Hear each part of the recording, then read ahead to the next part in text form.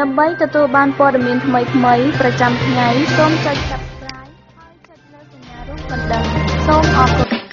អតីតមេដឹកនាំគណៈបកប្រឆាំងលោកសំរាស៊ីជូនពរដល់ជនរួមជាតិនៅក្នុងឱកាសបុណ្យឆ្នាំថ្មីឆ្នាំសកលឆ្នាំ2018ហើយថាកម្ពុជានឹងមានសុខសន្តិភាពនិងប្រជាធិបតេយ្យពិតប្រាកដនៅក្នុងឆ្នាំថ្មីនេះពលរដ្ឋចង់ឲ្យអ្នកនយោបាយបញ្ចប់គំនុំគុំគួនគ្នាត្រឹមឆ្នាំចាស់ហើយត្រូវរើគ្នាវិញនៅឆ្នាំ2018នេះ ព្រះអង្គម្ចាស់ស៊ីសវត្តចក្រីនុពលគ្រងប្តឹងរំលែកគណៈបកហ្វុនស៊ិនពេជ្រពលរដ្ឋនៅខេត្តកំពតស្នើសុំជាថ្មីទៅដល់ស្ថាប័នជំនាញឲ្យដកហូតដីសម្បត្តិពីក្រុមហ៊ុនសូងួនដែលបន្តទុកដីនៅទំនេរចោលរួមនឹងព័ត៌មានផ្សេងទៀតជាបន្តទៅទៀតនេះខ្ញុំបាទសេកបណ្ឌិតសូមជូនព័ត៌មានពិស្ដា បាទលោកនាងកញ្ញាជាទីមេត្រីអតីតប្រធានគណៈបកសង្គ្រោះជាតិលោកសំរាស៊ីបានសរសេរសារនៅក្នុងកេរនី Facebook របស់លោកជូនពរទៅដល់ជនរួមជាតិទាំងក្នុងនិងក្រៅប្រទេសនៅក្នុងឱកាសបុណ្យឆ្នាំថ្មីឆ្នាំសកលឆ្នាំ2018នេះឲ្យមានសុខភាពល្អសុភមង្គលគ្រប់គ្រងភាសានិងទទួលបានជោគជ័យគ្រប់កិច្ចការនិងសូមឲ្យបានសម្រេចដោយក្តីប្រាថ្នា លោកសំរាសីបានសរសេរសារជូនពរនេះតាមរយៈកេរនី Facebook របស់លោកកាលពីថ្ងៃអាទិត្យទី31ខែធ្នូឆ្នាំ2017នៅក្នុងសារជូនពរដដែលនោះលោកក៏បានសន្យាជូនដល់ប្រជាពលរដ្ឋកម្ពុជាគ្រប់រូបថាខ្លួនលោកផ្ទាល់និងសហការីនៅក្នុងជួរគណៈបកសង្គ្រោះជាតិទាំងអស់នឹងខិតខំធ្វើយ៉ាងណាឲ្យប្រជាពលរដ្ឋខ្មែរចាប់ផ្ដើមបានឃើញនៅពន្លឺប្រជាធិបតេយ្យនិងយុត្តិធម៌យ៉ាងពិតប្រាកដនៅក្នុងឆ្នាំថ្មីឆ្នាំ2018នេះ។ លោកបញ្ជាក់ទៀតថានៅក្នុងកិច្ចការចំពោះមុខលោកនឹងពង្រីកហើយពង្រឹងការតស៊ូមតិទាំងក្នុងស្រុកនិងក្រៅស្រុកដើម្បីធ្វើឲ្យនយោបាយគៀបសង្កត់និងបង្ក្រាបរបស់រដ្ឋាភិបាលសពថ្ងៃនេះទទួលបរាជ័យដោយត្រូវវិលបកថយក្រោយវិញក្នុងន័យនេះលោកចង់សង្កត់ធ្ងន់ថាគណៈបកសង្គ្រោះជាតិនឹងដំណើរការជាប្រក្រតីឡើងវិញហើយនឹងចូលរួមនៅក្នុងការបោះឆ្នោតជាតិឆ្នាំ2018នេះបើមិនដូច្នោះទេប្រទេសកម្ពុជានឹងឃើញប្រតិការថ្មីកើតឡើងដែលមិនធ្លាប់មានពីមុនមក។ តែទោះយ៉ាងណាលោកសំរាស៊ីមិនបញ្ជាក់ឲ្យច្បាស់ទេថាព្រឹត្តិការណ៍ថ្មីនោះជាអ្វីពិតប្រាកដហើយវានឹងកើតឡើងរបៀបម៉េចនោះទេក៏ប៉ុន្តែលោកថាព្រឹត្តិការណ៍ថ្មីទាំងនោះនឹងនាំមកនៅស្ថានភាពថ្មីមួយដែលអ្នកពាក់ព័ន្ធទាំងឡាយនឹងប្រឈមមុខហើយដោះស្រាយតាមការចាំបាច់ដើម្បីឲ្យប្រជាពលរដ្ឋខ្មែរឬបំរាស់ពីអំណាចផ្ដាច់ការប្រកបដោយជោគជ័យហើយឈានទៅរកភាពសម្បូរសប្បាយរុងរឿងពិតប្រាកដ។ សារជូនពរនៅក្នុងឱកាសឆ្នាំថ្មីឆ្នាំសកលរបស់លោកសំរាស៊ីនេះធ្វើឡើងក្រោយពេលដែលតុលាការក្រុងភ្នំពេញកាលពីថ្ងៃទី29ខែធ្នូបានសម្រេចផ្តន្ទាទោសលោកឲ្យបង់ប្រាក់ជូនលោកហ៊ុនសែនរហូតដល់ទៅ1លានដុល្លារសហរដ្ឋអាមេរិកពាក់ព័ន្ធនឹងរឿងក្តីបណ្ដឹងបរិហាកេដែលលោកហ៊ុនសែនប្តឹងលោកសំរាស៊ីពីបទបរិហាកេថាលោកហ៊ុនសែនសុកប៉ាន់ធីសវណ្ណថានៅទឹកប្រាក់ចំនួន1លានដុល្លារជាថ្នូវនឹងការវាយប្រហារគណៈបកប្រឆាំងបន្ទាប់ពីនាងឈប់គាំទ្រគណៈបកសង្គ្រោះជាតិហើយងាកមកសិទ្ធស្នាជាមួយនឹងលោកហ៊ុនសែននឹងចាប់ផ្ដើមវាយប្រហារគណៈបកសង្គ្រោះជាតិឥតសំចៃមាត់រហូតមកទល់នឹងពេលនេះលោកសំរាស៊ីកំពុងជាប់បណ្ដឹងនៅតុលាការជិត10បណ្ដឹងដែលភាគច្រើនជាបណ្ដឹងបរិហាកេលើមន្ត្រីជាន់ខ្ពស់រដ្ឋាភិបាល អ្នកវិភាគស្ថានភាពនយោបាយចាត់ទុកបណ្ដឹងទាំងនោះជាសម្ពាធសម្រាប់លោកសំរងស៊ីនៅក្នុងការបន្តជីវិតនយោបាយនៅកម្ពុជាពួកគេមើលឃើញទៀតថាចំពោះចំណាត់ការរបស់តុលាការគឺជាបំណងប្រាថ្នារបស់គណៈបកកណ្ដាលអំណាចដើម្បីរារាំងកុំឲ្យលោកសំរងស៊ីវិលចូលក្នុងស្រុកក៏ប៉ុន្តែវិធានការទាំងនេះនឹងកាន់តែធ្វើឲ្យប្រជាប្រិយភាពរបស់គណៈបកកណ្ដាលអំណាចមួយនេះកាន់តែធ្លាក់ចុះទៅវិញនោះទេ បាទលោកនាងកញ្ញាជាទីមេត្រីនៅក្នុងឆ្នាំថ្មីឆ្នាំសកលឆ្នាំ2018នេះដែរ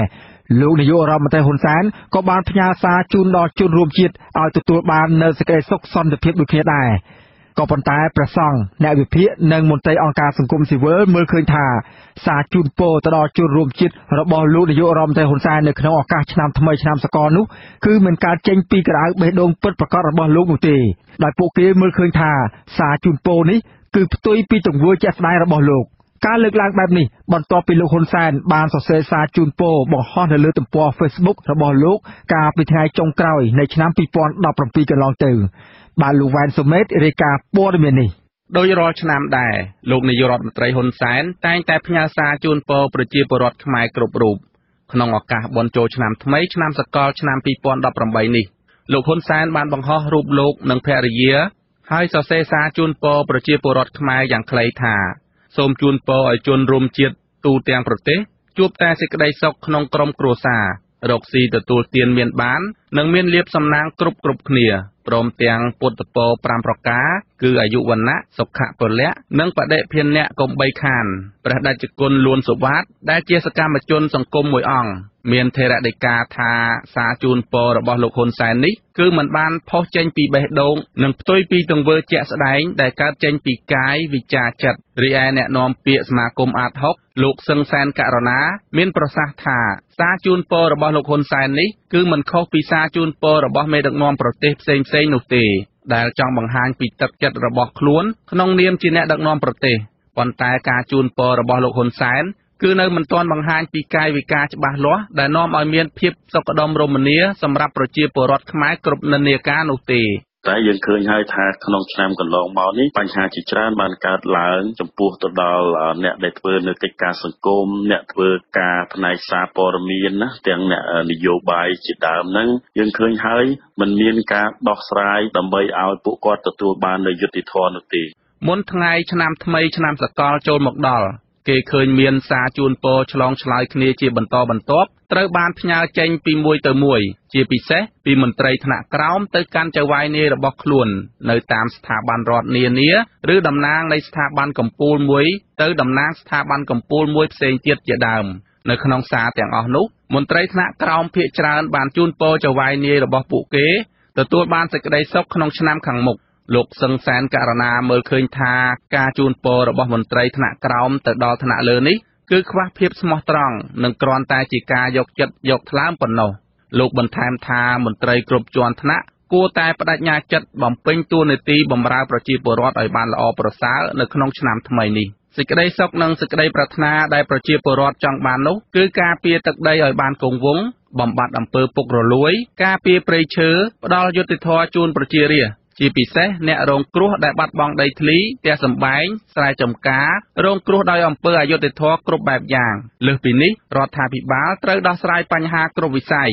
ដូចជាបញ្ហាវិស័យកសិកម្មឧស្សាហកម្មព្រមទាំងដោះស្រាយបញ្ហានយោបាយនិងពង្រឹងការអនុវត្តច្បាប់ឲ្យបានត្រឹមត្រូវស្មើស្មើគ្នាអ្នកខ្លំមើលផ្នែកអភិវឌ្ឍសង្គមលោកបណ្ឌិតមាសនេះលោកទទួលស្គាល់ថាកម្ពុជា មានការអភិវឌ្ឍគួរសមដល់បច្ចុប្បន្ននេះ ប៉ុន្តែស្ថានភាពនយោបាយចុងក្រោយនេះនឹងនាំឲ្យកម្ពុជាវិលទៅក្រោយវិញហើយនឹងធ្វើឲ្យប៉ះពាល់ដល់ជីវភាពរស់នៅរបស់ប្រជាពលរដ្ឋក្រៅតែពីការជូនពរនេះលោកបណ្ឌិតមាសនេះចង់ឃើញលោកនាយករដ្ឋមន្ត្រីហ៊ុនសែនធ្វើពលិកម្មជាក់ស្ដែងសម្រាប់វាសនាសង្គមជាតិរយៈពេលវែងជាជាងធ្វើពលិកម្មដើម្បីអំណាចផ្ទាល់ខ្លួននិងគណៈបក អំឡុងពេលដែលសម្ដេចនាយកកាន់អំណាចគឺលោកមានទូនាទីគ្រប់គ្រាន់និងអំណាចលោកមានគ្រប់ទាំងអស់អញ្ចឹងយើងចង់ឃើញលោកខ្លាយទៅជាវិរៈជនមេដឹកនាំមួយដែលនាំមកឲ្យប្រទេសជាតិដ៏តូចកំសត់មួយនេះនៅការឯកភាពជាតិហើយនឹងមានការរួមរំគ្នាឡើងវិញណាมันខុសគ្នាប៉ុន្មានឡើយព្រះតេជគុណលួនសុវត្ថិមានធរណីការថាដើម្បីឲ្យប្រជាពលរដ្ឋមានក្តីសុខកាយសប្បាយចិត្តនោះគឺត្រូវឲ្យពលរដ្ឋទទួលបាននូវសិទ្ធិសេរីភាពនិងសុខដុមរមនាគ្រប់និន្នាការនយោបាយស្មើស្មើគ្នាសូមឲ្យនាយករដ្ឋមន្ត្រីមិនបាច់ជូនពរទេប៉ុន្តែសូមឲ្យធ្វើនយោបាយឬក៏គ្រប់គ្រងដឹកនាំប្រទេសហ្នឹងគឺសូមឲ្យតែមានយុទ្ធធម៌សង្គមតែប៉ុណ្ណឹងហ្នឹងគឺប្រទេសជាតិបានសុខប្រជាជនបានសុខហើយអង្គការជាតិអន្តរជាតិស្ថានទូតនានាសហរដ្ឋអាមេរិកនិងសហគមន៍អឺរ៉ុបសុទ្ធតែមើលឃើញថារដ្ឋាភិបាលលោកហ៊ុនសែនបានរំលោភសិទ្ធិមនុស្សធ្ងន់ធ្ងរ និងដឹកនាំប្រទេសឆ្ពោះទៅរករបបផ្ដាច់ការសហគមន៍អន្តរជាតិស្នើឲ្យរដ្ឋាភិបាលទទួលស្គាល់ការពិត ហើយដោះស្រាយជាបន្ទាន់បើពុំនោះទេនឹងដាក់ទណ្ឌកម្មធ្ងន់ធ្ងរបន្ថែមទៀតក្រុមអ្នកខ្លំមើលបញ្ហាសង្គមលើកឡើងថាឆ្នាំ2018នេះជាឆ្នាំមួយដែលមានការលំបាកច្រើន ដែលត្រូវពុះពៀតទៅមុខនិងត្រូវមានការប្រុងប្រយ័ត្នបំផុតព្រោះបញ្ហាស្មុគស្មាញជាច្រើនក្នុងឆ្នាំចាស់ឆ្នាំ2017នៅមិនទាន់ដោះស្រាយបាននៅឡើយ ពួកគេស្នើឲ្យមេដឹកនាំទាំងឡាយត្រូវគោរពនិងឲ្យតម្លៃទៅលើប្រជាពលរដ្ឋជាធំ ហើយត្រូវប្រើតួនាទីដ៏សំខាន់របស់ខ្លួន ដើម្បីឲ្យប្រជាពលរដ្ឋទទួលបានសេចក្តីសុខចម្រើនរុងរឿងពិតប្រាកដខ្ញុំបាទវ៉ែនសុមេត អាស៊ីសេរីពីរដ្ឋធានី Washington បាទលោកនាងកញ្ញាកំពុងតាមដានស្ដាប់កម្មវិធីផ្សាយរបស់វិទ្យុអសីស្រីផ្សាយចេញពីរដ្ឋធានី Washington ប្រជាពលរដ្ឋម្ចាស់ឆ្នោតនិងអ្នកមានចំនួនដីធ្លីនៅកម្ពុជាស្នើឲ្យអ្នកនយោបាយដែលប្រជារាស្ត្រគាំទ្រទាំងពីរគណបកគឺគណបកប្រជាជនកម្ពុជានិងគណបកសង្គ្រោះជាតិបញ្ឈប់ការគុំគួនគ្នាត្រឹមឆ្នាំចាស់ឆ្នាំ2017ហើយចាប់ផ្ដើមជជែករកដំណោះស្រាយឡើងវិញនៅឆ្នាំថ្មីឆ្នាំ2018នេះដើម្បីអាចឲ្យប្រជាពលរដ្ឋនៅក្នុងប្រទេសមានឱកាសរស់នៅដោយសុខដុមរមនាជាមួយគ្នានិងលែងមានទំនាស់គ្នាអំពីរឿងគណបកនយោបាយតទៅទៀតបាទពីរដ្ឋធានី Washington លោកមានរិទ្ធរាយការណ៍ព័ត៌មាននេះ និស្សិតនៃសាកលវិទ្យាល័យឯកជនមួយក្នុងក្រុងភ្នំពេញលោកណៅស៊ីនសំណូមពរឲ្យអ្នកនយោបាយខ្មែរបញ្ឈប់ចំនួនគ្នាត្រឹមឆ្នាំ2017លោកយល់ថាប្រទេសកម្ពុជារងគ្រោះកន្លងមកគឺដោយសារតែអ្នកនយោបាយខ្មែរឆ្លោះគ្នាឯងទើបបណ្ដាលឲ្យក្មេងសកលក្រោយរងគ្រោះបន្តលោកប្រមានថាបើអ្នកនយោបាយនៅតែបន្តឆ្លោះគ្នាតទៅទៀតប្រទេសកម្ពុជាគ្មានពេលវេលាសម្រាប់ការអភិវឌ្ឍពិតប្រាកដនោះទេ ហើយមនុស្សចំនួនក្រោយនឹងស្ដីបន្ទោសឲ្យអ្នកនយោបាយបច្ចុប្បន្ននេះតទៅទៀតសម្រាប់ខ្ញុំចង់ឲ្យនយោបាយនៅស្រុកខ្មែរយើងត្រូវរើគ្នាវិញដើម្បីយើងចាំដៃគ្នាអភិវឌ្ឍប្រទេសយើងហើយចំពោះនយោបាយដែលឆ្លោះគ្នាបែបនេះអាចធ្វើឲ្យយើងខាតប្រយោជន៍អ្នកវិនិយោគបរទេសគាត់អត់ហ៊ានមកវិនិយោគនៅស្រុកយើងទេដោយសារ ស្រុកយើងមិនមានស្ថិរភាពនយោបាយពេញលេញអាជីវករលក់មន់នៅម្ដុំផ្សារត្រាំខ្នាខេត្តតកែវម្នាក់ទៀតដែលសូមមិនបញ្ចេញឈ្មោះក៏រំពឹងស្រដៀងនឹងពលរដ្ឋដទៃទៀតដែរគឺចង់ឃើញស្ថានភាពនយោបាយវិលទៅរកសភាពដើមដោយការពីពេលដែលអ្នកនយោបាយត្រូវរើគ្នាធ្វើជាកញ្ចក់ឆ្លោះពីបញ្ហាឲ្យគ្នាទៅវិញទៅមកលោកបារម្ភអំពីស្ថានភាពនយោបាយដែលកាន់តែតានតឹងទៅតានតឹងទៅនឹងជះឥទ្ធិពលទៅដល់អាជីវកម្មរបស់លោក តាមរយៈការឈប់បញ្ជាទិញសម្លៀកបំពាក់ដែលធ្វើឲ្យកម្មករគ្មានការងារធ្វើឯការលក់មាន់នៅតាមផ្សារនិងមុខរោងចក្រក៏លែងសូវដាច់ដូចមុនមានអីទេមានតែឲ្យតែជួបជុំគ្នាតែប៉ុណ្ណឹងជាជនជួបជុំគ្នាត្រូវហើយគ្នាពេលហ្នឹងជាជនសប្បាយចិត្តឯងអូទីអីក៏រីចំណានដែរស្ថានភាពនយោបាយនៅកម្ពុជាត្រូវបានសហគមន៍អន្តរជាតិវាយតម្លៃថា ចាប់ផ្ដើមអាក្រក់ក្រោយពេលដែលលោកនាយករដ្ឋមន្ត្រីហ៊ុនសែនចោទថា សហរដ្ឋអាមេរិកបានជ្រៀតជ្រែកកិច្ចការផ្ទៃក្នុងនៅកម្ពុជា ជាបន្តបន្ទាប់តាមរយៈការបង្កើតអង្គការដើម្បីផ្ដួលរំលំរដ្ឋាភិបាលនិងបានជួយជ្រោមជ្រែងគណៈបកប្រឆាំងឲ្យធ្វើបដិវត្តពណ៌នៅកម្ពុជាលោកនាយករដ្ឋមន្ត្រីហ៊ុនសែន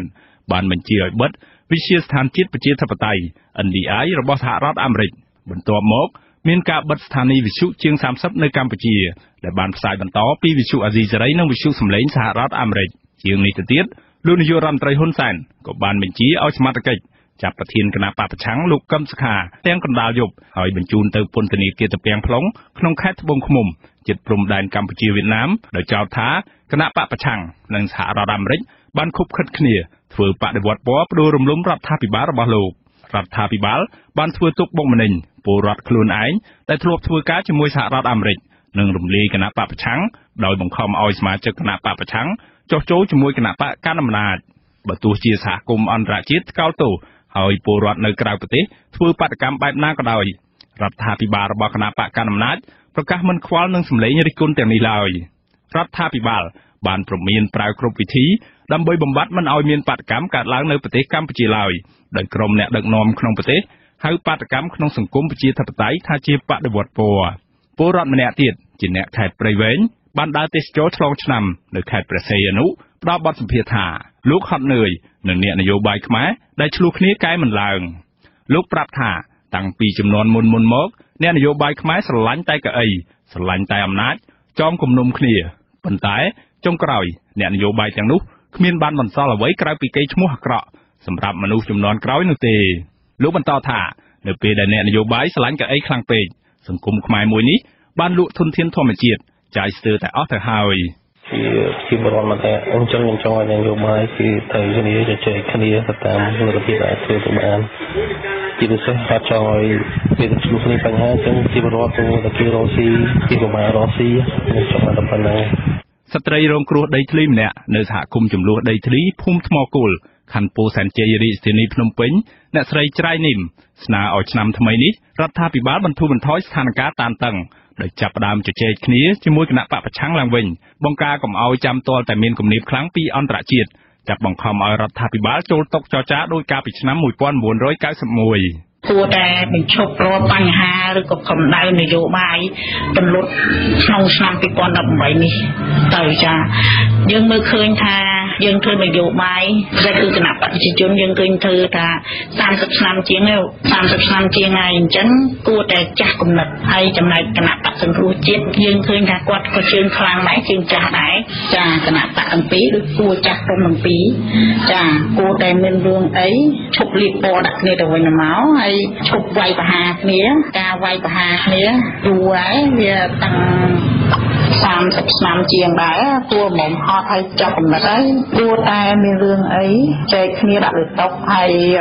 គិតប្រជាពលរដ្ឋ15លានអ្នកជាធំអ្នកស្រីបន្តថានៅពេលដែលអ្នកនយោបាយឆ្លោះគ្នាអ្នករងគ្រោះពិតប្រាកដគឺជាពលរដ្ឋស្លូតត្រង់ជាពិសេសគឺអ្នកមានចំនួនដីធ្លី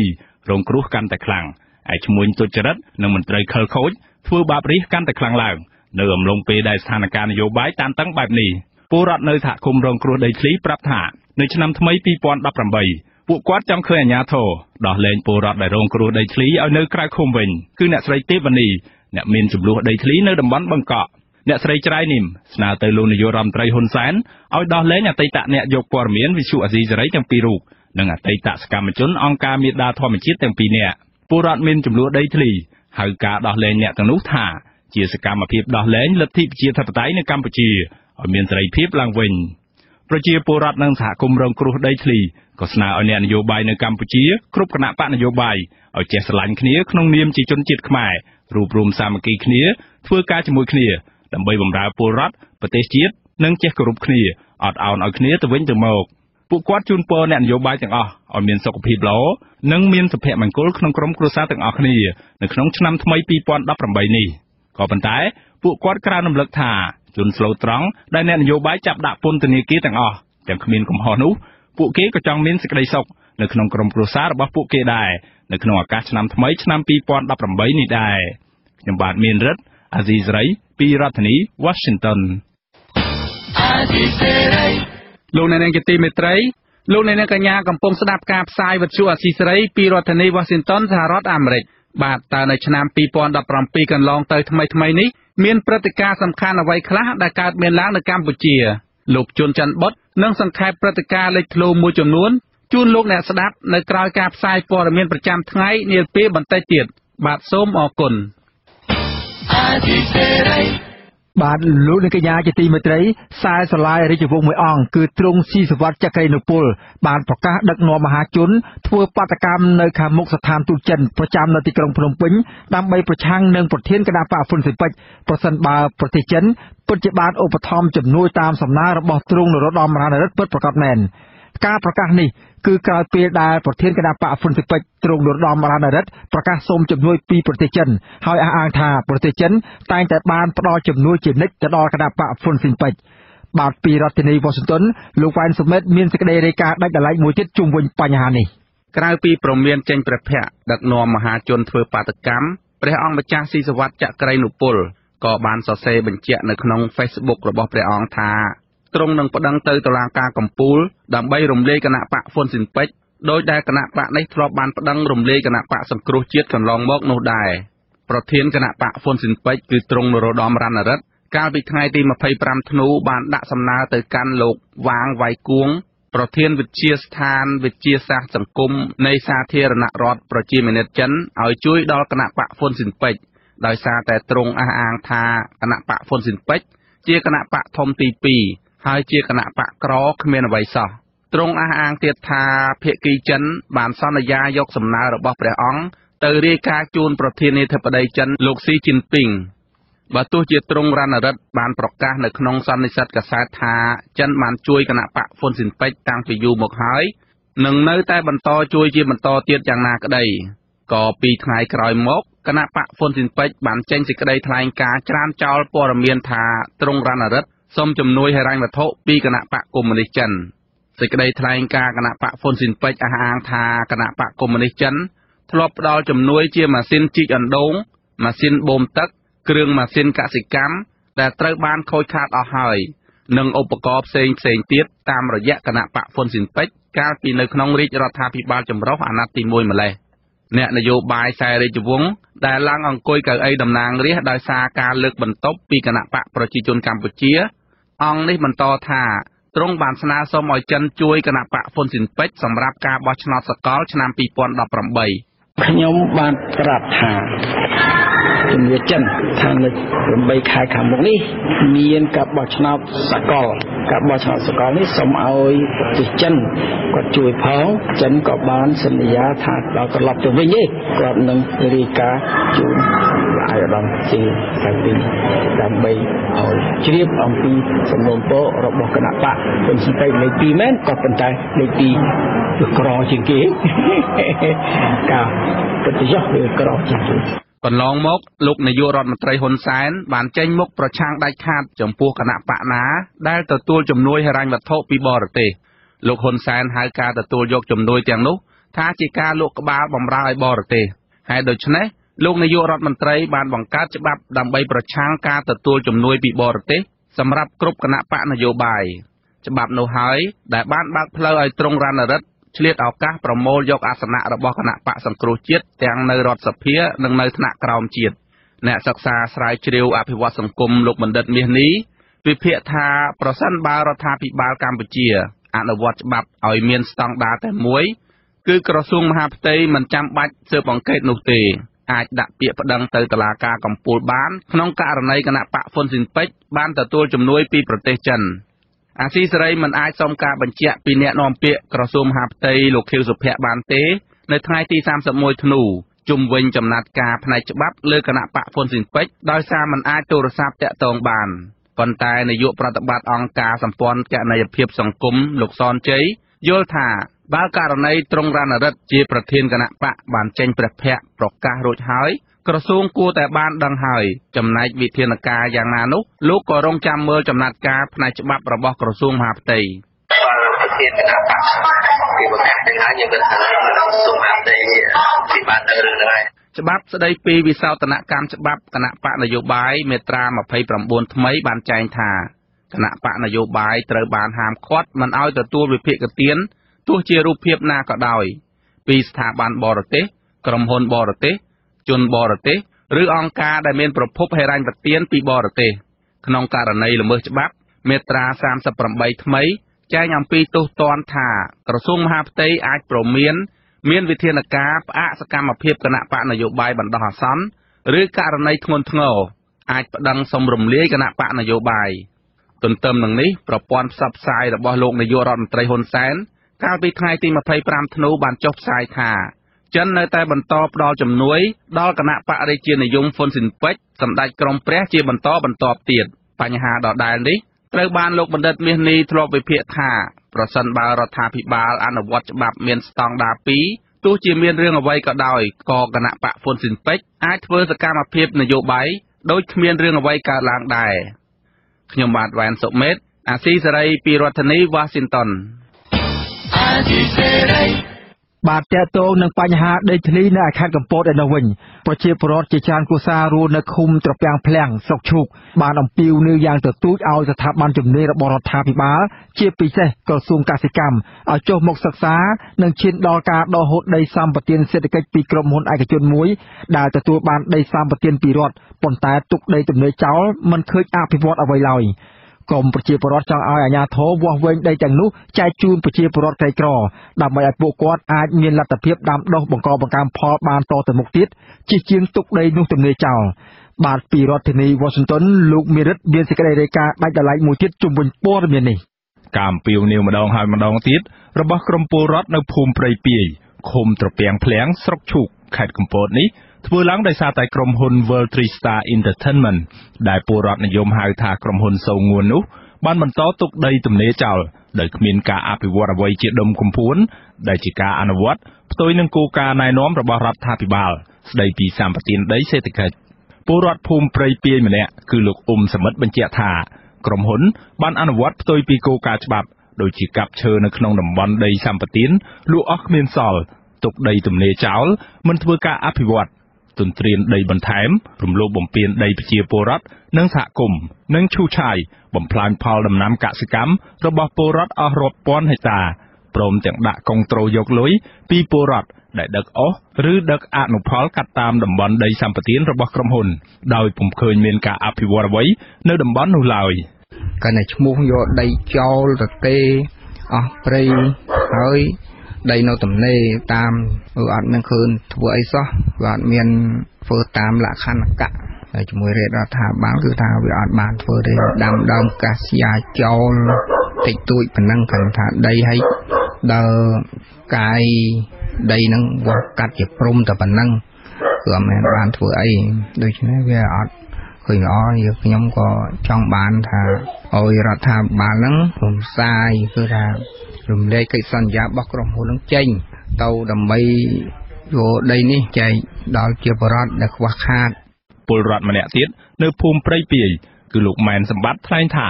ក្រុមហ៊ុន World Tree Star Entertainment ចាប់ផ្ដើមមានវត្តមាននៅក្នុងមូលដ្ឋានរបស់ពួកគាត់នៅឆ្នាំ2005ហើយចាប់ផ្ដើមឈូសឆាយប៉ះពាល់ដីធ្លី និងផ្ទះសម្បែងរបស់ពលរដ្ឋតាំងពីឆ្នាំ2006រហូតមកលោកបន្តថា សកម្មភាពរបស់ក្រុមហ៊ុន បានប៉ះពាល់ដល់ពលរដ្ឋជាង600គ្រួសារនៅក្នុងភូមិទួលដូនតីភូមិព្រៃពាយភូមិដុំផ្ដៅនៃឃុំតពាំងភ្លាំងនិងភូមិដេជោពងរកឃុំដេជោអភិវឌ្ឍស្រុកឈូកខេត្តកំពតដោយមិនឃើញមានអាជ្ញាធរខេត្តកំពតចុះមកដោះស្រាយឲ្យមានប្រសិទ្ធភាពជូនពួកគាត់នោះទេក្រុមហ៊ុនលោកអុកញ៉ាសូងួនហ្នឹងគាត់អត់មានអភិវឌ្ឍអីសោះ គាត់ទៅចំនួនទៅជាមួយប្រជាពលរដ្ឋចំណែកខាងដៃរបស់គាត់គាត់អត់មានអភិវឌ្ឍឬក៏ឈូសឆាយអីដៃព្រៃនៅតែដៃព្រៃគាត់អត់មានអភិវឌ្ឍអីសោះអញ្ចឹងចង់ឲ្យសម្ដេចលោកដកក្រុមហ៊ុននឹងចាញ់វិញដើម្បីរៀបចំឲ្យប្រជាពលរដ្ឋនឹងគាត់រស់នៅដោយសុខស្ងប់ផងឲ្យចាញ់ប្លង់ឲ្យគាត់រស់នៅដោយស្របច្បាប់ផងហើយដោយរាល់ថ្ងៃនេះជាពលរដ្ឋគាត់ខំធ្វើបានវាលបន្តិចបន្តួចដាំដុះបន្តិចតួចខាងក្រុមហ៊ុនគាត់ទៅរុករៀនគាត់ទៅឈូសឆាយដាំចេកដាំអីអត់បានដាំដំណាំធំអត់បានដាំបានតែត្រឹមស្រូវអាស៊ីសេរីនៅមិនទាន់អាចតាក់ទងសុំការបំភ្លឺអំពីបញ្ហានេះពីអាជ្ញាធរខេត្តកំពតបាននៅឡើយទេចំណែកភាគីខាងក្រុមហ៊ុន World Tree Star Entertainment ធ្លាប់បានបញ្ជាក់ប្រាប់អាស៊ីសេរីកាលពីពេលកន្លងទៅថាក្រុមហ៊ុនកំពុងពិភាក្សាជាមួយក្រសួងកសិកម្មរុក្ខាប្រមាញ់និងនេសាទអំពីផែនការមេក្នុងការអភិវឌ្ឍដំណាំកសិឧស្សាហកម្មលើដីសម្បត្តិទាំងនោះតំណាងក្រុមហ៊ុន លោកឡាយសាំងលីថ្លែងថា ក្រុមហ៊ុនបានដាំដុះកូនអាកាសយ៉ាជាបន្តបន្ទាប់ហើយជំហានបន្ទាប់ក្រុមហ៊ុនគ្រោងនឹងដាំដូងប្រេងនៅលើដីនោះដោយប្រើប្រាស់កម្លាំងពលកម្មរបស់ពលរដ្ឋនៅមូលដ្ឋាន។ ប្រជាជនដែលគាត់និយាយចឹងចឹងមែនថាគាត់ចេះចង់បានដីបន្ថែមទៀតចឹងបើសិនជាអ្នកវាស់វែងហើយគេអត់ខ្វល់អីទេគេបានដីបានធ្លីហើយគេធ្វើចឹងណាបើគេគេដាំដំណាំដាំអីទៅខ្លះគេចេះតែបានហើយយកទៅលក់វិញហើយចេះតែរុករៀនមកក្រុមហ៊ុនទៀតចេះខឹងក្រុមហ៊ុនថាដីហ្នឹងអត់អភិវឌ្ឍធម្មតាក្រុមហ៊ុនអភិវឌ្ឍមិនដែលអនុវត្តភ្លាមអស់ភ្លាមទេដីហ្នឹងនោះវាតាមដំណាក់កាលទោះបីជាយ៉ាងណាការលើកឡើងនេះ ត្រូវបានច្រានចោលដោយក្រុមពលរដ្ឋពលរដ្ឋម្នាក់ទៀតនៅភូមិត្រពាំងភ្លៀងគឺអ្នកស្រីច័ន្ទរឿនថ្លែងថាអ្វីត្បិតតែក្រុមហ៊ុនបានជួសឆាយដីពិតមែនតែក្រុមហ៊ុនបានដាំដើមអាកាសយ៉ាប្រមាណ500ទៅ600ហិកតាតែប៉ុណ្ណោះចំណែកឯដីនៅសល់មិនត្រូវបានដាំដុះឬអភិវឌ្ឍតំបន់នោះទេដោយក្រុមហ៊ុនបានទុកដីទាំងនោះឲ្យទម្លាចោលជាពិសេសក្រុមហ៊ុនបានទន្ទ្រានដីបន្ថែមដែលធ្វើឲ្យប៉ះពាល់លើដីដែលពួកគាត់ធ្លាប់ប្រកាន់កាប់និងបង្កបង្កើនផលកាលពីពេលមុន អ្នកស្រីសំណូមពរដល់អាជ្ញាធរថ្នាក់ជាតិនិងថ្នាក់ខេត្តឲ្យចុះដោះស្រាយបញ្ហានេះផងកុំឲ្យនៅបន្តរ៉ាំរ៉ៃបែបនេះតទៅទៀតចង់ឲ្យសម្ដេចលោកជួយចុះមកវាស់វែងដីឃ្លីជូនប្រជាពលរដ្ឋរស់នៅកន្លែងចម្រោកឲ្យមានបានកម្មសិទ្ធិរៀងរៀងខ្លួនកុំឲ្យប្រជាពលរដ្ឋរស់នៅកន្លែងហ្នឹងលំបាកទឹកភ្នែកហូរជារៀងរាល់ថ្ងៃសូមសម្ដេចចុះមកមើលផ្ទាល់ដោយភ្នែកក៏បានឲ្យកូនចៅសម្ដេចចុះមកក៏បានដែរ ក្រុមហ៊ុន World Tree Star Entertainment ទទួលបានដីសម្បត្តិសេដ្ឋកិច្ចចំនួនជិត10000ហិកតា នៅស្រុកឈូកខេត្តកំពត ពីរដ្ឋាភិបាលកម្ពុជាកាលពីឆ្នាំ2005ក្រោមកិច្ចសន្យាសម្បត្តិដីសេដ្ឋកិច្ចរយៈពេល70ឆ្នាំក៏ប៉ុន្តែកាលពីឆ្នាំ2016រដ្ឋាភិបាលបានធ្វើអនុប្រយោគដីនេះមកនៅត្រឹមជាង6000ហិកតាទៅវិញសម្រាប់ឲ្យវិនិយោគដំណាំកសិកម្មកសិឧស្សាហកម្មនិងចិញ្ចឹមសត្វមន្ត្រីស៊ើបអង្កេតសមាគមអាត6 ខេត្តកំពត លោកហេងភិរៈដែលតាមដានករណីនេះបញ្ជាក់ថា ដីភាគច្រើន ដែលក្រុមហ៊ុនទទួលបានត្រូវបានក្រុមហ៊ុនទុកទំនេរចោលដោយគ្មានការអភិវឌ្ឍហើយក្រុមហ៊ុនចេះតែបន្តឈូសឆាយដោយមិនឃើញមានការដាំដុះអ្វីឲ្យបានជាក់លាក់នោះឡើយលោកស្នើសុំឲ្យស្ថាប័នពាក់ព័ន្ធរបស់រដ្ឋគួរតែចុះស៊ើបអង្កេតករណីនេះដោយយកចិត្តទុកដាក់ដើម្បីស្វែងរកដំណោះស្រាយជូនប្រជាពលរដ្ឋជៀសវាងការទុកបណ្តែតបណ្តោយដែលធ្វើឲ្យពលរដ្ឋនិងក្រុមហ៊ុន បន្តប្រឈមមុខដាក់គ្នា ហើយបើរកឃើញថា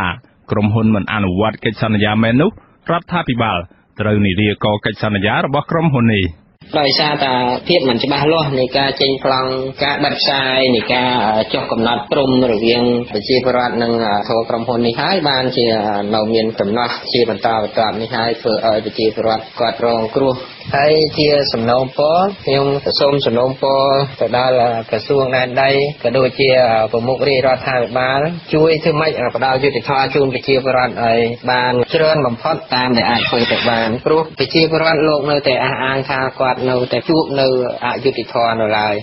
ច្បាប់ភូមិបាលឆ្នាំ2001ត្រង់មាត្រា62ចែងថារាល់សម្បទានដីសម្រាប់ដំណាំឧស្សាហកម្មត្រូវចាប់ផ្ដើមធ្វើអាជីវកម្មក្នុងរយៈពេល12ខែ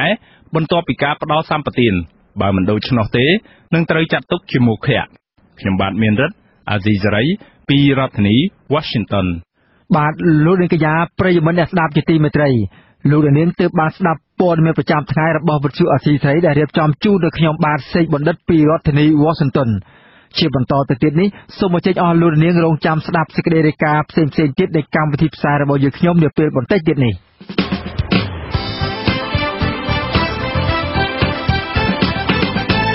លោកអ្នកនាងកញ្ញានិងប្រិយមិត្តអ្នកស្ដាប់ជាទីមេត្រីនៅក្នុងកម្មវិធីផ្សាយជាបន្តទៅទៀតនេះយើងខ្ញុំមានសេចក្តីរាយការណ៍ពិស្ដារផ្ដោតអំពីព្រឹត្តិការណ៍លេចធ្លោមួយចំនួនដែលកើតឡើងនៅក្នុងឆ្នាំ2017កន្លងទៅសាច់ញាតិរបស់សកម្មជនគណៈបកប្រឆាំងជាង20នាក់ដែលកំពុងជាប់ឃុំនៅក្នុងពន្ធនាគារដង្ហើយហៅរកយុត្តិធម៌ហើយនៅចុងកម្មវិធីគឺជាព័ត៌មានបញ្ចប់សូមអញ្ជើញលោកអ្នកនាង ស្ដាប់ការផ្សាយរបស់យើងខ្ញុំដែលមានជាបន្តទៅទៀតដូចតទៅ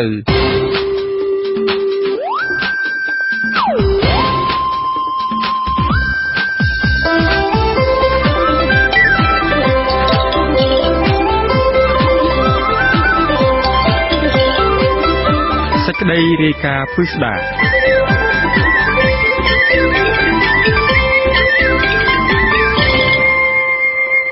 លោកអ្នកនាងជាទីមេត្រី លោកជួនច័ន្ទបុតសូមជូនសារមួយសម្រាប់ឆ្នាំថ្មីនេះដែលលោកនឹងសង្ខេបដោយត្រួសត្រាសជូនលោកអ្នកនាងនៅព្រឹត្តិការណ៍លេចធ្លោមួយចំនួនដែលកើតឡើងនៅក្នុងឆ្នាំ2017ដោយផ្ដោតជាពិសេសលើការប្រែធៀបរបស់មេដឹកនាំរដ្ឋាភិបាលក្នុងឆ្នាំ2017និងការទាញកង់ប្រវត្តិសាស្ត្រវិលថយក្រោយវិញលោកជួនច័ន្ទបុតក៏មានសារជូនពរឆ្នាំថ្មីជូនលោកអ្នកនាងផងដែរសូមអញ្ជើញលោកអ្នកនាងស្ដាប់ដូចតទៅបាទលោកអ្នកនាងជាទីមេត្រី ក្នុងឱកាសឆ្លងឆ្នាំ2017ចូលឆ្នាំ2018នេះខ្ញុំបាទតាំងនាមអ្នកធ្វើការនៅអាស៊ីសេរីសូមថ្លែងអំណរគុណដល់លោកលោកស្រីអ្នកនាងកញ្ញាទាំងអស់ដែលបានគ្រប់គ្រងនិងបន្តគ្រប់គ្រងលើកទឹកចិត្តព្រមទាំងតែងតែមានភក្ដីភាពដល់ការផ្សាយរបស់យើងខ្ញុំឆ្នាំ2017គឺជាដំណាក់កាលពិសេសមួយរបស់អាស៊ីសេរីផង និងជាឆ្នាំដែលមានព្រឹត្តិការណ៍លេចធ្លោមួយចំនួននៅក្នុងប្រទេសកម្ពុជា ដែលអាចនឹងចាត់ទុកក្នុងប្រវត្តិសាស្ត្រផង មកដល់ឆ្នាំ2017វិទ្យុអាស៊ីសេរីផ្នែកភាសាខ្មែរមានអាយុ20ឆ្នាំគត់យើងមានមោទនភាពណាស់ដែលបានចូលរួមចំណែកក្នុងបេសកកម្មផ្តល់ព័ត៌មានពិតនិងមានប្រយោជន៍ដល់ប្រជាពលរដ្ឋខ្មែរក្នុងរយៈពេល20ឆ្នាំកន្លងទៅនេះប្រិយមិត្តដែលជាអ្នកតាមដានការផ្សាយរបស់យើងតែងរំលឹកប្រាប់យើងជានិច្ចថារាល់ការផ្សាយរបស់យើងធ្វើឲ្យគាត់ទទួលបាននូវព័ត៌មានដែលមិនក្រឡៃមិនមួលបង្កាច់ហើយថែមទាំងទទួលបាននូវចំណេះដឹងផ្សេងផ្សេង និងបង្កើនការស្វែងយល់ផ្នែកសិទ្ធិមនុស្សផ្នែកច្បាប់និងប្រជាធិបតេយ្យជាដើមទន្ទឹមនឹងផ្សាយព័ត៌មានផ្ទាល់យើងក៏បានចូលរួមចំណែកក្នុងការជួយជំរុញវិស័យផ្សព្វផ្សាយព័ត៌មានឯករាជ្យនៅកម្ពុជា ដោយប្រយោលតាមរយៈការផ្ដល់ជាគំរូក្នុងការផលិតព័ត៌មាន និងកម្មវិធីនានាព្រមទាំងការបណ្ដុះបណ្ដាលរយៈពេលខ្លីៗមួយចំនួនផង អ្នកទាំងឡាយដែលធ្លាប់ឆ្លងកាត់ការងារនៅអាស៊ីសេរីត្រូវបានស្ថាប័នព័ត៌មានទាំងរដ្ឋនិងឯកជនផ្ដល់តម្លៃនិងការទុកចិត្តដោយប្រគល់នីតិដឹកនាំសំខាន់សំខាន់ក្នុងស្ថាប័នព័ត៌មាននានាប្រសិនបើពួកគាត់យល់ព្រមទៅធ្វើការនៅទីនោះឆ្នាំ2017នេះក៏ជាដំណាក់កាលមួយដែលអាស៊ីសេរីផ្នែកភាសាខ្មែរត្រូវឆ្លងកាត់នឹងការផ្លាស់ប្ដូររបៀបធ្វើការថ្មីមួយដើម្បីធ្វើយ៉ាងណា ឲ្យយើងអាចកាត់បន្ថយនៅការដាក់សម្ពាធមកលើស្ថាប័ននិងទៅលើសវត្ថិភាពផ្ទាល់ខ្លួនរបស់អ្នកយកព័ត៌មានរបស់យើងទោះជាយ៉ាងណាក៏ដោយ នៅចុងឆ្នាំ2017នេះអតីតនាយកព័ត៌មានអាស៊ីសេរីពីររូបគឺលោកអ៊ួនឈិននិងលោកយាងសុធិរិនត្រូវបានអាជ្ញាធរចាប់ឃុំខ្លួនឲ្យព្រាត់ប្រាសប្រពន្ធកូនសាច់ញាតិយ៉ាងអយុត្តិធម៌ជាទីបំផុត អស់រយៈពេលជាង1ខែហើយដែលពួកគេទាំងពីរត្រូវបានឃុំខ្លួន និងទទួលរងការចោទប្រកាន់ពីបទប្រគល់ឲ្យរដ្ឋបរទេសនៅព័ត៌មាន ដែលអាចជាប់ទោសពី7ទៅ15ឆ្នាំយើងចាត់ទុកការចាប់ខ្លួននេះគឺជាការគំរាមកំហែងដ៏ធំធេងមួយដល់អ្នកទាំងពីរនិងអ្នកសារព័ត៌មានដទៃទៀតដែលបំពេញវិជ្ជាជីវៈឯករាជ្យការចាប់ខ្លួនដោយផ្អែកលើការចោទប្រកាន់មូលបង្កាច់និងការបង្ខំជំរិតឲ្យផ្ដាល់ចម្លើយដែលអាជ្ញាធរចង់បាន វាជាការរំលោភបំពានយ៉ាងកម្រោលទៅលើសិទ្ធិមនុស្សហើយវាជាការអនុវត្តផ្ទុយទៅនឹងច្បាប់ជាតិអន្តរជាតិព្រមទាំងសិទ្ធិសញ្ញាអន្តរជាតិដែលរដ្ឋាភិបាលបានទទួលស្គាល់លោកយាងសុធិរិននិងលោកអ៊ុនឈិនធ្លាប់បានបំពេញការងារដោយប្រកាន់ខ្ជាប់នៅវិជ្ជាជីវៈជាអ្នកសារព័ត៌មានឯករាជ្យក្នុងបេសកកម្មស្វែងរកព័ត៌មានពិតពេលខ្លះពួកគាត់ហ៊ានប្រថុយប្រថាននឹងគ្រោះថ្នាក់ដាក់ជីវិតធ្វើជាដើមទុនដើម្បីលាតត្រដាងនៅអំពើពុករលួយ ការកាប់បំផ្លាញព្រៃឈើខុសច្បាប់ ការបណ្តេញចេញដោយបង្ខំ ការសូកប៉ាន់វិវាទការងារនិងការរំលោភសិទ្ធិមនុស្សជាដើមយើងទាំងអស់គ្នាព្រួយបារម្ភយ៉ាងខ្លាំងអំពីសវត្ថភាពរបស់លោកទាំងពីរពួកយើងពិតជាពិបាកមើលយើងពិបាកទប់ទឹកភ្នែកណាស់នៅពេលដែលយើងឃើញអតីតសហការីដ៏ល្អរបស់យើងពីររូបត្រូវគេដាក់ខ្នោះដៃបណ្ដាលដោយអក្រិតជន យើងសង្ឃឹមថាលោកទាំងពីរនឹងទទួលបានយុត្តិធម៌និងមានសេរីភាពឡើងវិញនៅឆ្នាំ2018នេះលោកអ្នកនាងជាទីមេត្រីក្នុងឆ្នាំ2017នេះប្រជាជាតិកម្ពុជាទាំងមូលក៏បានធ្វើជាសាក្សីនៅព្រឹត្តិការណ៍ជាប្រវត្តិសាស្ត្រមួយចំនួនដែលអាចជះឥទ្ធិពលដល់សង្គមជាតិទាំងមូលនៅឆ្នាំខាងមុខខាងមុខនិងដល់មនុស្សស្រកក្រោយមេដឹកនាំរដ្ឋាភិបាលខ្ពស់ផុតលេខនៅក្នុងឆ្នាំ2017បានប្រែធៀបខ្លួនឯង និងបានបង្វិលកង់ប្រវត្តិសាស្ត្រឲ្យថយក្រោយវិញច្រើនដំណាក់កាលលោកនាយករដ្ឋមន្ត្រីហ៊ុនសែនបានប្រែក្លាយយុទ្ធសាស្ត្រដែលលោកធ្លាប់ហៅថាជាយុទ្ធសាស្ត្រឈ្នះឈ្នះទាំងសងខាងឲ្យទៅជាយុទ្ធសាស្ត្រគំតិចអ្នកដទៃយកឈ្នះតែខ្លួនឯងទៅវិញលោកប្រើប្រាស់គ្រប់មធ្យោបាយទោះសាហាវឃោឃៅឬស្មុគរូបយ៉ាងណាក្តីដើម្បីកម្ចាត់ជនណាដែលហ៊ានរិះគន់លោកឬក៏គណៈបកនយោបាយណាដែលលោកមើលឃើញថាអាចយកឈ្នះនឹងលោកបាន ក្នុងការបោះឆ្នោតដោយសេរីនិងយុត្តិធម៌កាលពីខែមករាឆ្នាំ2017ក្រុមអង្គរៈរបស់លោកនាយករដ្ឋមន្ត្រីហ៊ុនសែនដែលបានព្រួតគ្នាវាយទាត់ធាក់អ្នកតំណាងរាស្ត្រពីខាងគណៈបកប្រឆាំងត្រូវបានដំឡើងបនស័ក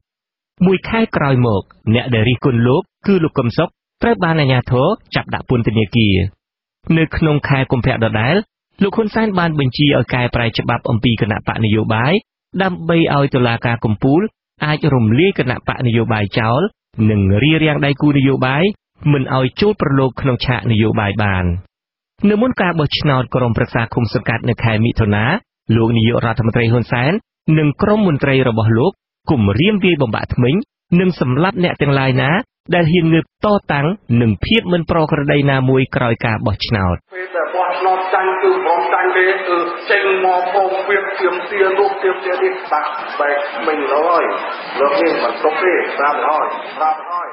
នៅក្រៅការបោះឆ្នោតឃុំសង្កាត់ដែលលទ្ធផលបានធ្វើឲ្យលោកហ៊ុនសែនព្រួយបារម្ភលោកក៏ចាប់ផ្ដើមប្រមានគណៈបកប្រឆាំងឲ្យត្រៀមក្តារមឈូស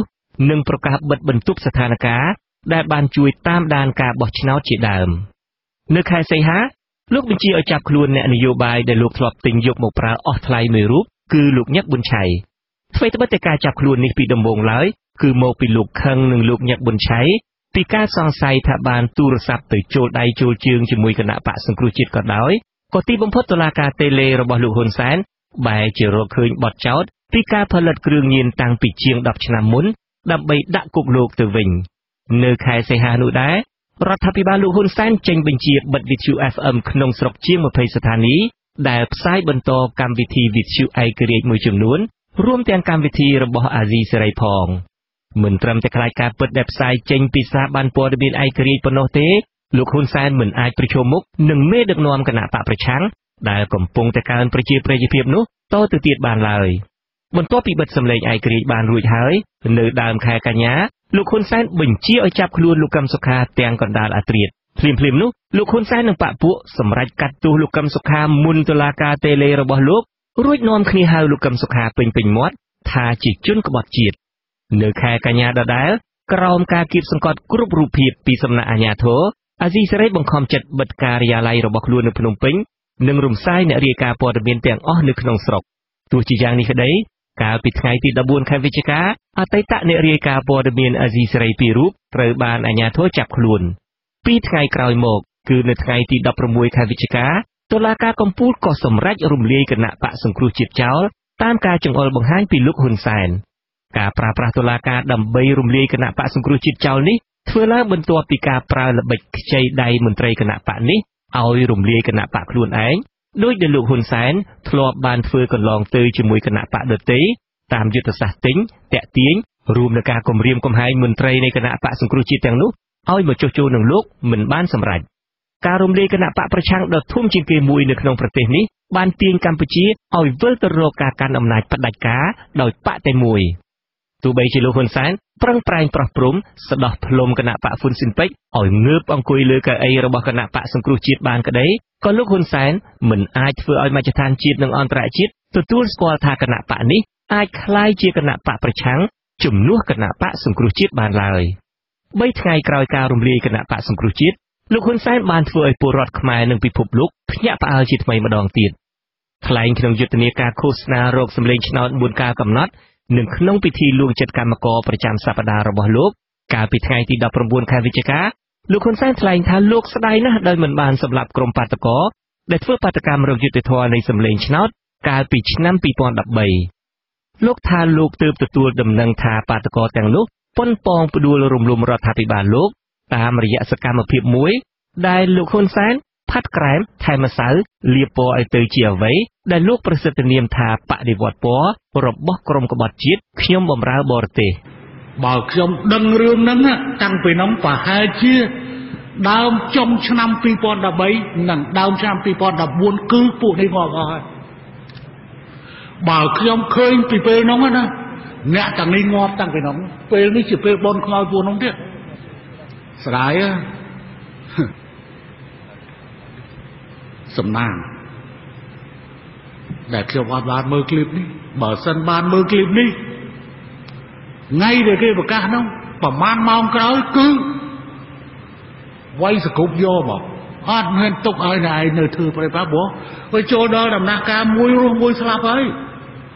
អាហ្នឹងចូលដល់ដំណាក់កាលមួយរស់មួយស្លាប់ពួកគេប្រកាសសង្គ្រាមពេញទីហើយដោយយកលេសបដិវត្តពណ៌ក្បត់ជាតិក្នុងការកំទេចគូប្រកួតនឹងជន់ស្លូត្រង់ នៅចុងឆ្នាំ2017នេះលោកហ៊ុនសែនហាក់បានប្រោះឲ្យរស់ឡើងវិញនៅយុទ្ធសាស្ត្រសម្លាប់មនុស្សនៃរបបខ្មែរក្រហមដែលលោកធ្លាប់មានឈ្មោះថាជាអ្នកគំទេចចោលជាចុងក្រោយការដែលមេខ្មែរក្រហមអាចបញ្ជាឲ្យទាហានកងឆ្លប់និងកម្មាភិបាលរបស់ខ្លួនសម្លាប់មនុស្សដែលឥតរើសមុខបានព្រោះពួកគេបានយកលេសចោតជនស្លូតត្រង់ទាំងនោះថាជាពួកប្រតិកិរិយាជាជនក្បត់ជាតិជាកិញ្ចសម្ងាត់របស់បរទេសជាដើម ពាក្យបដិវត្តពណ៌ដែលបង្កើតចេញមកតាមមាគ៌ាដ៏ភ្លឺស្វាងរបស់លោកហ៊ុនសែននៅចុងឆ្នាំ2017នេះកំពុងពេញនិយមណាស់ក្នុងចំណោមកម្មាភិបាលរបស់លោកដើម្បីប្រើជាលេសក្នុងការចោទប្រកាន់ចាប់ចងបុគ្គលណាឬក្រុមណាដែលហ៊ានទាមទារយុត្តិធម៌សង្គមនិងអ្នកទាំងឡាយណាដែលហ៊ានងើបតតាំងនឹងការជិះជាន់រំលោភបំពានសិទ្ធិសេរីភាពពីសំណាក់អាជ្ញាធរគេឲ្យដំណាក់កាលទាំង12 13នៃបដិវត្តពណ៌យើងឃើញ នោះគឺការទប់ស្កាត់កុំឲ្យកើតមានបដិវត្តពណ៌នៅកម្ពុជាយើងគិតមើលសិតតែសិតតែហេតុការណ៍ដែលកើតមកដែលរុញឲ្យទៅជាបដិវត្តពណ៌ទោះដោយតម្លៃណាក៏ដោយមិនត្រូវឲ្យមានបដិវត្តពណ៌នៅកម្ពុជាទេមិនអនុញ្ញាតឲ្យមានបដិវត្តពណ៌កើតនៅក្នុងប្រជាជាតិអាចារ្យកម្ពុជាយើងជាដាច់ខាតយើងវាយបបាក់ឆ្អឹងក្រងកាត់ក្បាលនិងរំលាយដងខ្លួននៃអង្គការភេរកម្មនៃអង្គការបដិវត្តពណ៌ ប្រសិនបើពាក្យបដិវត្តពណ៌នេះត្រូវលោកហ៊ុនសែននិងបកពួករបស់លោកយកទៅប្រើនៅឆ្នាំ2018ខាងមុខនេះទៀតពលរដ្ឋកម្ពុជាស្លូតត្រង់ដែលត្រូវគេជិះជាន់ហើយហ៊ានងើបទាមទារយុត្តិធម៌និងសេរីភាពមិនតិចអ្នកទេ ដែលនឹងត្រូវលោកហ៊ុនសែននិងដៃជើងរបស់លោកចាប់យកទៅធ្វើបាបបើទោះជាយ៉ាងណាក៏ដោយចុះក្នុងឱកាសឆ្លងចូលឆ្នាំថ្មីឆ្នាំសកល2018នេះខ្ញុំបាទសូមប្រសិទ្ធពរជ័យបវរសួស្តីដល់ពលរដ្ឋខ្មែរទាំងប្រុសស្រីគ្រប់ស្រទាប់វណ្ណៈ គ្រប់និន្នាការនយោបាយរួមទាំងលោកនាយករដ្ឋមន្ត្រី និងក្រុមគ្រួសារលោកផងសូមឲ្យឆ្នាំសកលថ្មីនេះផ្ដល់ជូនលោកលោកស្រីអ្នកនាងកញ្ញានៅធម៌ពលថ្មីគំនិតថ្មីទស្សនវិស័យថ្មីដើម្បីទម្លាក់ចោលនូវភាពខុសគ្នាឈប់ចងកម្មចងពៀនឹងខ្មែរគ្នាឯងចេះស្គាល់បុណ្យស្គាល់បាបតម្កល់ផលប្រយោជន៍ជាតិជាធំហើយងាកទៅប្រព្រឹត្តនៅអ្វីដែលត្រូវដើម្បីរួមគ្នាកសាងសង្គមជាតិខ្មែរឡើងវិញ និងផ្ដល់សេចក្តីសុខឲ្យកូនខ្មែរគ្រប់រូប ក្នុងឆ្នាំថ្មីនេះនិងឆ្នាំខាងមុខខាងមុខទៀតខ្ញុំជុនច័ន្ទបុតអាស៊ីសេរី Washington thank you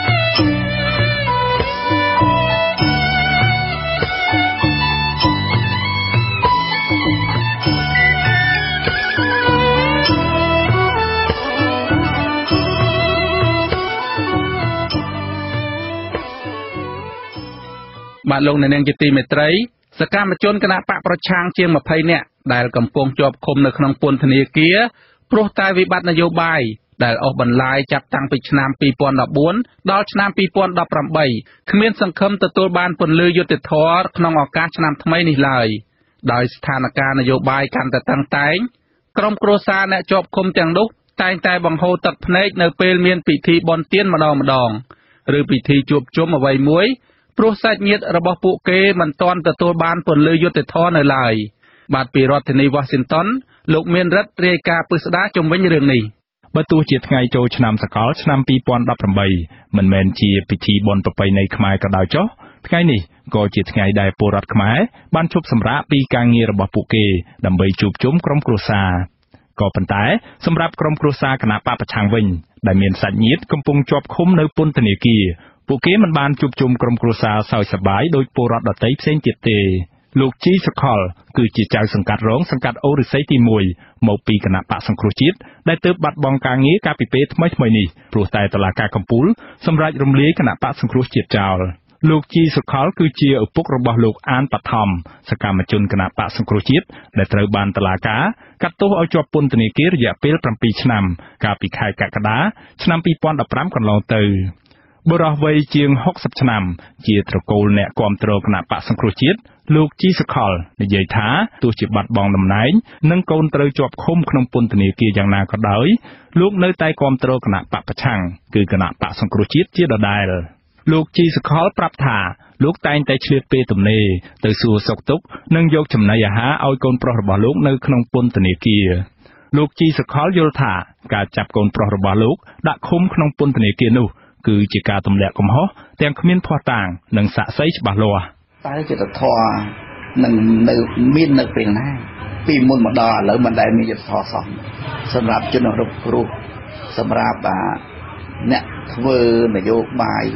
អ្នកបម្រើនយោបាយជាប្រើគំនិតប្រើមនសិការរបស់ខ្លួនដើម្បីដោះស្រាយបញ្ហាសង្គមបែរជាមានទោសទៅវិញអានេះជាបញ្ហាមួយដែលយើងគួរយកមកគិតពិចារណាដែរចង់ឲ្យរដ្ឋាភិបាលនឹងគិតពីបញ្ហាសារឡើងវិញ លោកជីសុខុលមានកូនចំនួន7នាក់ហើយលោកអានបឋមដែលជាសកម្មជនគណបកសង្គ្រោះជាតិគឺជាកូនប្រុសច្បងរបស់លោកសកម្មជនគណបកសង្គ្រោះជាតិលោកអានបឋមត្រូវបានតុលាការក្រុងភ្នំពេញកាត់ទោសជាប់ពន្ធនាគាររយៈពេល7ឆ្នាំកាលពីថ្ងៃទី21ខែកក្កដាឆ្នាំ2015កន្លងទៅពីបទចូលរួមចលនាកុបកម្មដែលបានប្រព្រឹត្តនៅទីលានប្រជាធិបតេយ្យកាលពីថ្ងៃទី15ខែកក្កដាឆ្នាំ2014 ស្របពេលដែលវិបត្តិនយោបាយរវាងគណៈបកប្រជាជនកម្ពុជា និងគណៈបកសង្គ្រោះជាតិកាន់តែឡើងកម្ដៅខ្លាំងឡើងខ្លាំងឡើងរហូតដល់គណៈបកប្រជាជនកម្ពុជាសម្រេចរំលាយគណៈបកប្រឆាំងនៅមុនការបោះឆ្នោតជាតិឆ្នាំ2018នេះយ៉ាងហោចណាស់សកម្មជននិងមន្ត្រីគណៈបកសង្គ្រោះជាតិជាង20រូបបានជាប់ឃុំនៅពន្ធនាគារដែលអ្នកទាំងនោះគឺជាសកម្មជន សមាជិកក្រុមប្រឹក្សាឃុំសង្កាត់សមាជិកក្រុមប្រឹក្សាខេត្តក្រុងនិងស្រុកសមាជិករដ្ឋសភា ហើយនៅចុងក្រោយរដ្ឋាភិបាលលោកហ៊ុនសែនចាប់ខ្លួនប្រធានគណៈបកសង្គ្រោះជាតិគឺលោកកឹមសុខាតែម្ដងពួកគេទទួលរងនៅបទចោទថាក្បត់ជាតិនិងចូលរួមដឹកនាំចលនាកុបកម្មញុះញង់នាំឲ្យមានការរើសអើងនិងបទល្មើសទាក់ទងនឹងបញ្ហាព្រំដែនកម្ពុជាវៀតណាមជាដើមដែលពួកគេមួយចំនួនត្រូវប្រឈមជាប់ពន្ធនាគាររហូតដល់ទៅ20ឆ្នាំ។ អង្គុយនៅក្នុងផ្ទះឈើដំបូលប្រក់សង្កសីអ្នកស្រីលេងកលយ៉ានជាភរិយារបស់លោកខិនជំរឿនសកម្មជនគណបកសង្គ្រោះជាតិអ្នកស្រីត្អូញត្អែពីការលំបាកពេលគ្មានស្វាមីថាអ្នកស្រីគ្មានពេលចេញរកប្រាក់ចំណូលនោះទេព្រោះត្រូវមើលថែទាំកូនពិការនៅផ្ទះទោះជាគ្មានសង្ឃឹមថាស្វាមីបាននៅក្រៅឃុំក៏ដោយអ្នកស្រីតែងតែបន់ស្រន់ទេវតាសូមឲ្យស្វាមីអ្នកស្រីរួចផុតពីការចោទប្រកាន់នេះមានការយុទ្ធធរបង ព្រោះអីគាត់មានធ្វើអីខុសចោតគាត់ចាប់គាត់ចឹងប្រវាំងបងព្រោះអីណាមួយខ្វះខាតឲ្យកូនធ្វើការបើដោះគោកូនរៀនចំណូលចាយធ្វើការទិញដោះកូនកូនធ្វើការលុយបងរៀនបងលុយរៀនរាល់ខែស្វាមីរបស់អ្នកស្រីលេងកល្យានគឺលោកខិនជំរឿនដែលជាសកម្មជនគណៈបកសង្គ្រោះជាតិ ត្រូវបានតុលាការក្រុងភ្នំពេញកាត់ទោសឲ្យជាប់ពន្ធនាគាររយៈពេល20ឆ្នាំ កាលពីថ្ងៃទី21ខែកក្កដាឆ្នាំ2015កន្លងទៅពីបទចូលរួមនិងដឹកនាំចលនាកុបកម្មដែលបានប្រព្រឹត្តទៅនៅទីលានប្រជាធិបតេយ្យកាលពីថ្ងៃទី15ខែកក្កដាឆ្នាំ2014 គណៈចំនួននយោបាយនៅកម្ពុជាមិនអាចរកទីបញ្ចប់បានដូចនេះកូនស្រីច្បងរបស់លោកកឹមសុខា គឺកញ្ញាកឹមមនោវិជ្ជាបានចេញទៅក្រៅប្រទេសដើម្បីស្វែងរកអន្តរាគមន៍ពីសំណាក់សហគមន៍អន្តរជាតិស្នើឲ្យមានការដោះលែងលោកកឹមសុខា និងទាមទារឲ្យគណៈបកសង្គ្រោះជាតិអាចចូលរួមប្រកួតប្រជែងនៅក្នុងការបោះឆ្នោតជាតិឆ្នាំ2018នេះនៅក្នុងវេទិកានៃស្ថានបេសកកម្មអចិន្ត្រៃយ៍សហរដ្ឋអាមេរិកប្រចាំនៅអង្គការសហប្រជាជាតិ ក្នុងបរិយាញូវយ៉កកាលពីថ្ងៃទី19ខែធ្នូឆ្នាំ2017កន្លងទៅនេះដែលនិយាយពីការធ្លាក់ចុះនៃលទ្ធិប្រជាធិបតេយ្យនៅកម្ពុជាកញ្ញាកឹមមនោវិជ្ជាស្នើទៅក្នុងវេទិកានេះចំនួន3ចំណុចធំធំគឺទី1កញ្ញាស្នើសុំឲ្យប្រទេសជាសមាជិកនៃអង្គការសហប្រជាជាតិទាំងអស់លើកយកបញ្ហារបស់កម្ពុជាធ្វើជារបៀបវារៈនៅក្នុងមហាសន្និបាតរបស់អង្គការសហប្រជាជាតិទី2កញ្ញាស្នើទៅអង្គការសហប្រជាជាតិ ឲ្យបញ្ជូនប្រតិភូចុះទៅកម្ពុជា ដើម្បីស្វែងយល់ពីស្ថានភាពពិតរបស់កម្ពុជា ហើយទី3កញ្ញាស្នើទៅអង្គការសហប្រជាជាតិឲ្យត្រួតពិនិត្យមើលឡើងវិញនៅអាសនៈរបស់កម្ពុជានៅអង្គការសហប្រជាជាតិថាតើគួររក្សាទុកអាសនៈនេះឲ្យលោកហ៊ុនសែនគ្រប់គ្រងដដែលឬទុកចោលឲ្យនៅទំនេរកញ្ញាកឹមមនោវិជ្ជាជឿជាក់ថាសហគមន៍អន្តរជាតិនឹងយកសំណើរបស់កញ្ញាមកពិចារណា កញ្ញាបន្តទៀតថាគណៈបកសង្គ្រោះជាតិនឹងបន្តជំរុញទៅក្រមប្រទេសដែលមានឥទ្ធិពលឲ្យជួយលើកស្ទួយលទ្ធិប្រជាធិបតេយ្យនៅក្នុងប្រទេសកម្ពុជាឡើងវិញ។ ឥឡូវហ្នឹងរហូតដល់ធ្ងន់ធ្ងរដល់រំលាយបកយើងផងទៀតរំលាយគណៈបកសង្គ្រោះជាតិហើយមានការប្លន់យកអាសនៈដែលបានបោះឆ្នោតជូនដោយប្រជាពលរដ្ឋកម្ពុជាយើងប្រជាពលរដ្ឋខ្មែរយើងហើយពីគណៈបកសង្គ្រោះជាតិអញ្ចឹងហើយលើកមុនយើងឃើញថាគេបានពិចារណាទៅលើការព្យួរនិងបានព្យួរអាសនៈរបស់កម្ពុជានៅលើនៅអង្គការសហប្រជាជាតិហើយខ្ញុំគិតថាលើកនេះស្ថានភាពវាដូចគ្នាអញ្ចឹងដែរអញ្ចឹងពួកគាត់គួរយករឿងទាំងអស់នោះមកពិចារណា ជាការឆ្លើយតបទៅនឹងកិច្ចប្រឹងប្រែងរបស់កូនស្រីប្រធានគណៈបកសង្គ្រោះជាតិនេះអនុប្រធានគណៈបកប្រជាជនកម្ពុជាលោកសុកខេងបានរៀបចំសំណើគ្រោងកែប្រែរដ្ឋធម្មនុញ្ញដើម្បីដាក់ទោសអ្នកទាំងឡាយណាដែលនិយាយមិនល្អពីកម្ពុជានៅលើឆាកអន្តរជាតិអ្នកវិភាគនយោបាយលោកបណ្ឌិតឡៅម៉ុងហៃយល់ថាទុកវេទនារបស់ក្រុមសាច់ញាតិមន្ត្រីគណៈបពប្រឆាំងមិនបានធ្វើឲ្យអ្នកដែលចាប់ចងពួកគេទូទុនចិត្តនោះឡើយ។ លោកបណ្ឌិតព្រួយបារម្ភថាបើគ្មានការចរចាណាមួយកើតឡើងនោះទេអ្នកដែលរងគ្រោះពិតប្រាកដមិនមែនមានតែអ្នកនយោបាយប៉ុន្មានអ្នកនេះទេគឺប្រទេសកម្ពុជាទាំងមូលនឹងជួបនៅវិបត្តិដោយសារតែមានការដាក់ទណ្ឌកម្មពីអន្តរជាតិខ្ញុំថាប្រហែលជានឹងធ្វើឲ្យអ្នកខំសម្បានគាត់នេះគឺមា នការដែលទូទួចិត្តទេបាទគឺថាអត់អត់ជឿចោលទេគឺអញ្ចឹងណាបាទចង់តែវិធានវិធាននេះព្រមតាមតាមខ្លួនឯងទៅនៅពេលដែលរដ្ឋាភិបាលរបស់លោកហ៊ុនសែនកំពុងធ្វើទុកបុកម្នេញមកលើគណៈបពប្រឆាំងសង្គមស៊ីវិលនិងសារព័ត៌មានឯករាជ្យ រដ្ឋាភិបាលរបស់លោកហ៊ុនសែនដែលកំពុងជាប់ជំពាក់បំណុលបរទេសរាប់ពាន់លានដុល្លារនោះត្រូវសភាអឺរ៉ុបសម្រេចផ្អាកជំនួយទាំងអស់ក្នុងក្របខ័ណ្ឌនៃកិច្ចសន្យាសហប្រតិបត្តិការរវាងសហភាពអឺរ៉ុបនិងកម្ពុជាដោយបិទទីផ្សារមិនឲ្យនាំទំនិញចេញពីកម្ពុជាចូលមកដាក់លក់នៅក្នុងប្រទេសទាំង27នៃសហភាពអឺរ៉ុប សេចក្តីសម្រេចក៏ផ្អាកការផ្ដល់ទិដ្ឋាការឬវីសាចេញចូលសហភាពអឺរ៉ុបចំពោះថ្នាក់ដឹកនាំផ្ដាច់ការនៃប្រទេសកម្ពុជាព្រមទាំងក្រុមគ្រួសារនិងបព្វពួករបស់ពួកគេ ហើយវិធានការទាំងនេះអាចឈានទៅដល់ការរឹបអូសទ្រព្យសម្បត្តិរបស់ជនទាំងនោះដែលបានយកលុយកាក់បានមកពីអំពើពុករលួយរបស់ខ្លួនម្លាក់ទុកនៅក្នុងទ្វីបអឺរ៉ុបហើយវិធានការទាំងនេះអាចឈានរហូតទៅដល់ការរឹបអូសទ្រព្យសម្បត្តិរបស់ជនទាំងនោះដែលបានយកលុយកាក់បានមកពីការប្រព្រឹត្តអំពើពុករលួយរបស់ខ្លួននៅក្នុងប្រទេសកម្ពុជាម្លាក់ទុកនៅក្នុងទ្វីបអឺរ៉ុបក្រៅពីសហភាពអឺរ៉ុបសហរដ្ឋអាមេរិកនិងប្រទេសស៊ុយអែត ក៏កំពុងដាក់ទណ្ឌកម្មនិងមានវិធានការជាបន្តបន្ទាប់មកលើរដ្ឋាភិបាលលោកហ៊ុនសែនផងដែរក៏ប៉ុន្តែលោកហ៊ុនសែនមិនទាន់បានបង្ហាញពីការព្រួយបារម្ភលើការប្រមានទាំងនេះទេព្រោះលោកថាអ្នកដែលទទួលរងពីផលប៉ះពាល់នៅទណ្ឌកម្មទាំងនេះគឺមិនមែនជារូបលោកនោះឡើយ លោកហ៊ុនសែនបានសរសេរសារជូនពរឆ្នាំថ្មីឆ្នាំ2018ឆ្នាំសកលនេះនៅលើទំព័របណ្ដាញទំនាក់ទំនងសង្គម Facebook របស់លោកជូនពរដល់ពលរដ្ឋខ្មែរទូទាំងប្រទេសឲ្យជួបតែនឹងសេចក្តីសុខក្នុងក្រុមគ្រួសាររកទទួលទានមានបាន និងមានលៀបសំណាងគ្រប់គ្រប់គ្នាព្រមទាំងទទួលបាននៅពុទ្ធពរទាំង5ប្រការក៏ប៉ុន្តែសម្រាប់លោកជីសុខុលឪពុករបស់សកម្មជនគណៈបកសង្គ្រោះជាតិដែលមានកូនប្រុសកំពុងជាប់ពន្ធនាគារវិញ លោកគ្មានសង្ឃឹមថាកូនប្រុសរបស់លោកនឹងទទួលបាននៅពន្លឺយុត្តិធម៌នេះឡើយលោកប្រាប់តែអ្នកចោទប្រកាន់កូនប្រុសរបស់លោកថាគួរបោះបង់ចោលនៅគំនិតអាត្មានិយមក្រាញអំណាចក្នុងថ្ងៃចូលឆ្នាំសកលឆ្នាំ2018នេះអស់លោកអញ្ញាធរដែលជាអ្នកដឹកនាំគួរកែកិរិយាបថដើរឲ្យតន់សភាពការពិភពលោកចារំពិភពប្រទេសលើពិភពលោក គេឈ្មោះទៅរកលទ្ធិប្រជាធិបតេយ្យអស់ហើយ ក្នុងពិសេសនៅទ្វីបអាស៊ីភាគអាគ្នេយ៍យើងហ្នឹងសូមឲ្យធ្វើដូចគេទៅ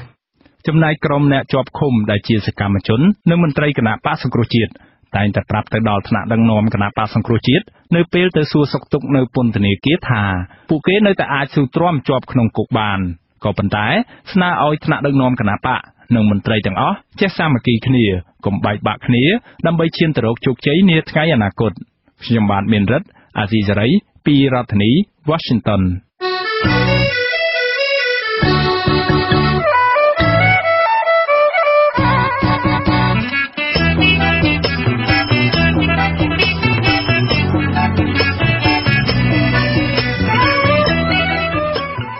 ជាបន្តទៅទៀតនេះខ្ញុំបាទសេកបណ្ឌិតសូមជូនព័ត៌មានបញ្ចប់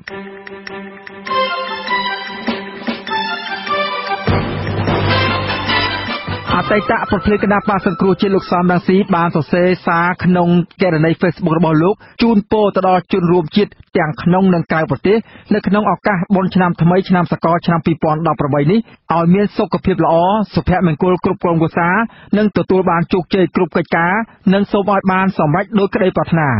លោកសំរាស៊ីបានសរសេរសារជូនពរនេះតាមរយៈកេរនី Facebook របស់លោកកាលពីថ្ងៃអាទិត្យទី31ខែធ្នូឆ្នាំ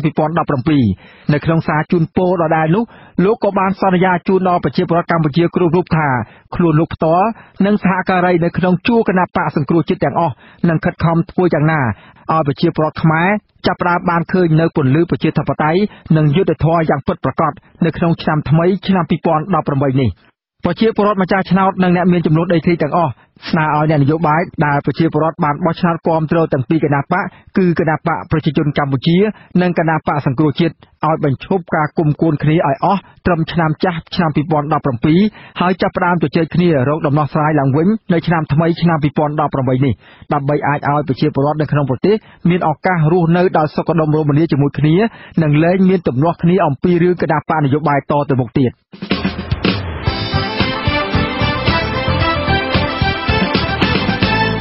លោកអ្នកនាងកញ្ញាអ្នកស្ដាប់ជាទីមេត្រីកម្មវិធីផ្សាយរយៈពេល1ម៉ោងនៃវិទ្យុអាស៊ីសេរីជាភាសាខ្មែរនៅពេលនេះចប់តែប៉ុណ្ណេះបាននៅក្នុងឆ្នាំថ្មីឆ្នាំសកលឆ្នាំ2018នេះយើងខ្ញុំសូមគោរពជូនពរដល់អស់លោកអ្នកនាងព្រមទាំងក្រុមគូសាទាំងអស់ឲ្យជួបប្រកបតែនឹងសេចក្តីសុខចម្រើនរុងរឿងកុំបីឃ្លៀងឃ្លាតឡើយ